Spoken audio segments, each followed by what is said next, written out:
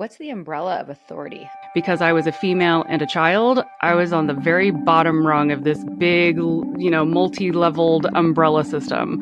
God and or Gothard were at the top, and then underneath you might have pastors or the father, um, always male headship. Underneath the the husband, you would have the wife, and then under the wife you would have children. If you step out of the umbrella, you will get rained on by Satan's darts, bad things will happen to you. It's a way to get you to a point where you self police.